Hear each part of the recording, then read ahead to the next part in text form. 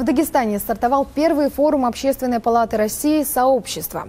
Это рабочая площадка для диалога власти, бизнеса и людей с активной гражданской позицией. В течение двух дней стороны будут обсуждать вопросы достижения поставленных президентом России задач с основным упором на вопросы экономики, занятости населения и новых рабочих мест.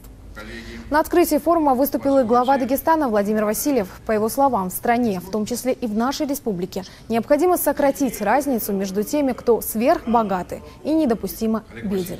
Руководитель региона также остановился и на местном производстве, которое, по его мнению, надо не только возрождать и поддерживать, но и выводить из тени. Я сегодня специально так вырядился, может кто-то подумает. Я специально вот выйду, чтобы меня видели.